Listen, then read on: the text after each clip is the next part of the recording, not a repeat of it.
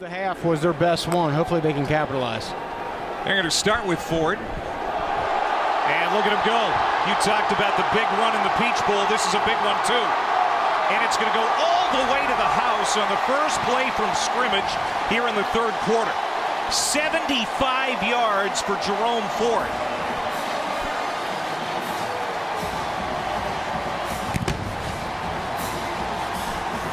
Well, Clay, we talked about slamming the door, right? Well, how about giving it the ball to your big-time tailback here and just the presence of mind, look, the vision, little jump cut to the outside, and then you see the speed.